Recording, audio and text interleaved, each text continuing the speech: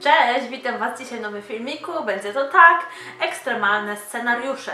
Mam wolny poni- poniedziałek, nie. Mam wolną sobotę rano, tak więc postanowiłam wykorzystać ten czas produktywnie i nagrać dla Was filmik. Wiem, że Was zaniedbuję i tak dalej. Mam nadzieję, że już w najbliższych miesiącach się to zmieni. Jest teraz naprawdę mega szalony okres w moim życiu. Naprawdę mm, olbrzymią nadzieję, że moje plany wypalą i że będę miała czas dla Was. Będę miała dla Was nie tylko czasu więcej, ale również więcej możliwości, bo w tym momencie e, moje możliwości nagrywania są ograniczone, a już Wam wielokrotnie mówiłam, że jak mam nagrywać na siłę, to wolę nie nagrywać wcale, dlatego no jest mnie trochę mniej, ale mam nadzieję, że e, nie będzie tak cały czas. A teraz zapraszam Was na tak ekstremalne scenariusze. Będę zwykle zerkać na telefon, żeby e, żeby po prostu wiedzieć o czym mówię, bo nie pamiętam e, tych pytań na pamięć. Także dobra, jedziemy.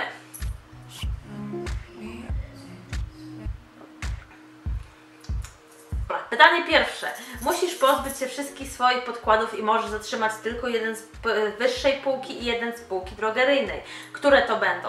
Nie mam tutaj żadnej wątpliwości, tak naprawdę mam w tym momencie dwa takie podkłady. Mam cztery podkłady, ale dwóch praktycznie nie używam, bo są w ogóle za ciemne i ich nie lubię.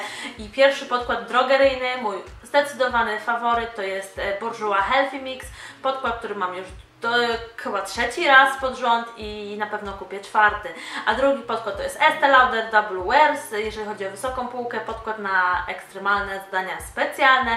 Jeżeli potrzebuję dobrego krycia, potrzebuję, żeby podkład trzymał się na mojej twarzy cały dzień lub całą noc, to wtedy sięgam po tamten podkład. Dobra, idziesz e, na rozmowę o pracę i pani przeprowadzająca rozmowę na ma na zębach. Mówisz jej o tym, czy unikasz tematu. I szczerze Wam powiem, że nie wiem, co bym zrobiła. Wydaje mi się, że to zależy od sytuacji, zależy od tego, jak, jakby ta pani również się e, zachowywała, czy byłaby raczej taką babką śmieszną z jajem, pomimo, że prowadzącą interwiu, czy byłaby to raczej, oso- raczej osoba bardzo sztywna i taka em, profesjonalna do granic możliwości. Jeżeli e, sytuacja byłaby sprzyjająca i czułabym się w miarę komfortowo z tą osobą, to myślę, że bym jej powiedziała. Natomiast jeżeli byłaby to osoba bardzo taka, mówię, formalna i tak dalej, podejrzewam, żebym nic nie mówiła, starałabym się po prostu na to nie zwracać uwagę.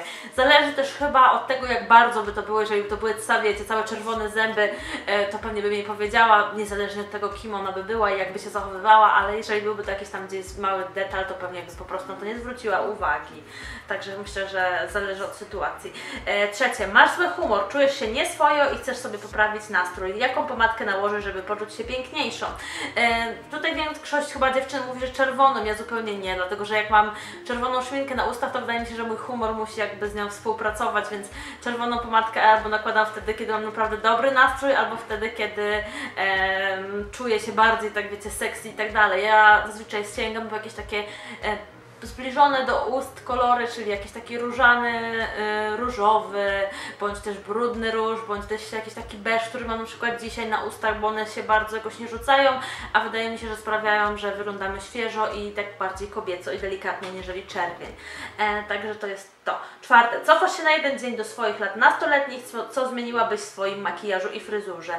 Na pewno nie prostowałabym tak często włosów, jak to robiłam, mówiłam Wam wiele razy, niszczyłam swoje włosy, maltretowałam do granic możliwości po prostu i e, strasznie, strasznie tego żałuję, chociaż te włosy i tak teraz nie mam jakieś tam najzdrowsze, bo niestety mam taką naturę, że lubię zmieniać kolor włosów i tak dalej i miałam już różne kolory i miałam chyba już cztery razy wyjście z czarnego do blondu i powrót do z powrotem ciemnych, tak więc... E, mam już tak z włosami. Jeżeli chodzi o makijaż, no to wydaje mi się, że każdy musi przejść te swoje takie ciężkie lata makijażowe. Nikt nie umie od razu się świetnie malować. Ja mówiłam, wielokrotnie używałam zbyt dużo czarnej kredki, zarówno na linii wodnej, jak i na górze. Nie rozmazywałam jej, zostawiałam tak. Ona potem w ciągu dnia mi się odbijała na powietrze, wyglądała fatalnie, ale cieszę się, że przez to przeszłam, bo po prostu teraz wiem, czego mniej więcej unikać i coraz lepiej wychodzi mi makijaż i cieszę się, że teraz jest coś takiego jak YouTube, bo jak ja byłam nastolatką, to na YouTubie nie było tutoriali makijażowych i nie można było się od nikogo uczyć, ewentualnie od mamy, ale to też jakoś tak, moja mama nigdy się jakoś tak bardzo dużo nie malowała. E, dobra. Mm, Piąte, prosisz fryzjera o obcięcie włosów do ramion a la Pixie Lord, ale fryzjer źle, źle Cię zrozumiał i obciął Ci włosy na chłopaka, Pixie Cut. Co robisz? A. Uśmiechasz się, dziękujesz, a po wyjściu dzwonisz do mamy rozhisteryzowana. B. Wzbudzasz płaczem, wybuchasz płaczem sytuacja robi się niezręczna. C. Skarżysz się menadżerowi i zażądasz zwrotu pieniędzy. Na pewno nie zrobiłabym C, no bo tak naprawdę już nic się nie da z tymi włosami zrobić, to nic nie, nie odmieni. Wybucham płaczem, sytuacja robi się niezręczna, chyba bym tego nie zrobiła. E, B, to wydaje mi się, że bym nie, na pewno bym nie płakała przy tej pani, chyba że e, jakbym wyszła. C, na pewno bym powiedziała, e, a uśmiechasz się i to bardziej prawdopodobnie. Jak byłam młodsza, to właśnie tak właśnie robiłam. Jak miałam kilkanaście lat, byłam nastolatką, to chodziłam z mamą, jak mi się coś nie podobało, to mama już to widziała, siedziałam na fotelu. Uśmiechałam się, pozaciskałam zęba i wychodziłam, to ryczałam albo mówiłam, mamo, czemu się zatrzymałaś? Nigdy nie powiedziałam tego, co tak naprawdę chciałam. W tym momencie wydaje mi się, że też bym się zorientowała, jakby mi pani obcinała za krótko, bo raczej e, boję się obcięcia na zbyt krótko, bo moje włosy się zupełnie do krótkich fryzur nie nadają. Jak byłam nastolatką, to obcinałam się na chłopaka bardzo długi czas i nie wiem właściwie co mi odbiło, bo jak teraz patrzę na te zdjęcia, e, to wyglądałam naprawdę fatalnie, tak więc e, myślę, że bym się zorientowała i bym panią w porę uprzedziła, że ja takich krótkich włosów nie chcę. A nawet jakbym już miała takie włosy, wydaje mi się, że bym zrobiła coś szalonego z nimi, umalowałabym je na jakiś taki kolor, który zupełnie normalnie bym nie zrobiła, może na jakiś taki, nie wiem, bardzo jasny, prawie biały blond, albo na jakiś e, fiolet, róż, coś takiego, żeby po prostu już całkowicie to humorem e, zatuszować.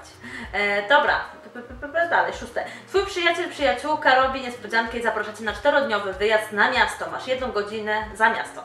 E, masz jedną godzinę, żeby się spakować. Którą paletę do wszystkiego spakujesz, do kosmetyczki. Nie mam takiej palety, nie mam palety, w której by miała i tusz, i nie wiem, cienie, i podkłady, korektory, pudry, nie mam nic takiego. Jedyne palety, które posiadam to są palety cieni. Tak naprawdę bez cieni mogę spokojnie żyć to jest to ostatni kosmetyk, który bym się martwiła gdziekolwiek jadąc, bo nie jestem jakąś tam wielką maniaczką cieni jedyne cienie, które używam są cienie naturalne i mogę właściwie powiedzieć, że jeżeli bym musiała powiedzieć, że paletę, to bym zabrała paletę Naked i prawdopodobnie albo zabrała jedynkę albo trójkę, nie wiem. E, teraz ostatnio znowu używam cały czas jedynki. Dzisiaj mam makijaż też zrobiony jedynką. Także pewnie bym zabrała którąś z tych palet, ale jeśli miała tylko wybrać kilka kosmetyków, to bym wolała zdecydowanie zabrać podkład, puder i tusz i coś do brwi. Zamiast tej palety, jakbym miała taki wybór. Dalej, okradziono Twój dom, nie martw się, wszyscy są bezpieczni, ale włamywacz splądrował Twoją toaletkę. O który produkt martwisz się najbardziej i masz nadzieję, że nie został skradziony? O żaden produkt, to wszystkie produkty można kupić ponownie.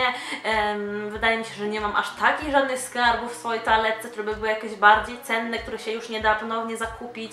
Nie mam nic takiego, nie mam jakichś też super drogich kosmetyków, nie wiem, za e, grube pieniądze, także wszystko mogłabym odkupić. Chyba by mi było szkoda tych paletek, znowu tych naked, bo to jest chyba jedna, jedna z takich rzeczy, które mam wiele lat, może kosztowały troszeczkę więcej, a naprawdę się super sprawdzają i nigdy nie żałowałam zakupu e, tych kosmetyków. E, dobra, Twoja kole... ostatnie pytanie, ósme. Twoja koleżanka pożycza od Ciebie kosmetyki i oddaje je w okropnym stanie. Co robisz? A. Udajesz, że nie zauważyłaś, nic się nie stało. B. Prosisz, żeby odkupiła zniszczony produkt. C. Pokryjomu robisz to samo z jej kosmetykami. Na pewno nie zrobiłabym C. E, B. Prosisz, żeby odkupiła. Wydaje mi się, że też bym tego nie zrobiła. Prawdopodobnie zrobiłabym A, że udaje, ewentualnie rzuciłabym jakiś komentarz, kur, wiecie, typu żartów, kurde, co zrobiłaś z tym, z tym wszystkim, to w ogóle tak nie wyglądało, jak Ci dawałam. Bez jaj. I podejrzewam, że gdyby mi zaproponowała, że mi odkupi ten produkt, to bym nie, nie odmówiła, natomiast nigdy bym nie prosiła sama o coś takiego. Wydaje mi się też, że moje koleżanki mi czegoś takiego nie zrobiły e, i nie muszę się o to martwić. Tyle. Mam nadzieję, że filmik Wam się podobał. E, krótki, miły i przyjemny. E, do zobaczenia niebawem w holu chyba, bo mam jeszcze do nagrania hol. Mam nadzieję, że mi się też uda na dniach to zrobić. Dajcie znać na dole, co myślicie, napiszcie mi coś dawno tutaj nie była, więc co u Was słychać i tak dalej. Co może chciałobyście zobaczyć? Jakieś takie filmiki w miarę niepracochłonne. Wiem, że chcecie lookbook, ale to na razie kurczę chyba nie dam rady. Może za tydzień, ale nie będę obiecywać. Dobra, tyle. Do zobaczenia. Pa, pa.